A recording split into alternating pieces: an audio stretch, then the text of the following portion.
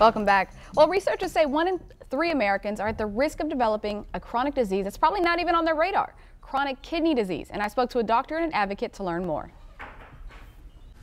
Yeah, um, almost 30 million people in the United States are estimated to have chronic kidney disease or CKD, but it's a silent disease. There are no symptoms early in the course of the disease, so people may be unaware that they have it. So it's really important to know if you're at risk for CKD, if you have high blood pressure, diabetes, heart disease or a family history of kidney disease, then you're at risk for CKD. So it's important to get screened um, because there are good early treatments to protect the kidneys.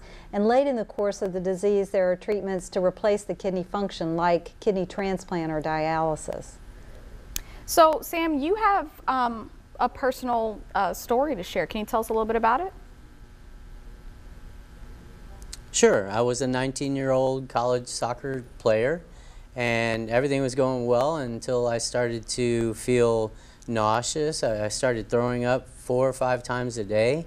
Uh, I, I, had extreme fatigue where I was falling asleep in class, falling asleep at the wheel, um, and I was forced to go to the doctor and he confirmed that I indeed had kidney failure and uh, my choice was to go on kidney dialysis and not only that but my soccer career to my doctor was over.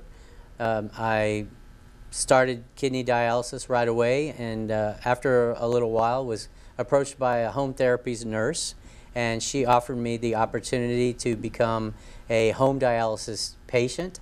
I accepted and became a home patient, took control of my disease, became empowered, and not only did I have the opportunity to go back to college soccer, but I became a transplant recipient to which my wife was my donor. Wow, that is an incredible story. And doctor, can you tell us a little bit about how is kidney disease detected?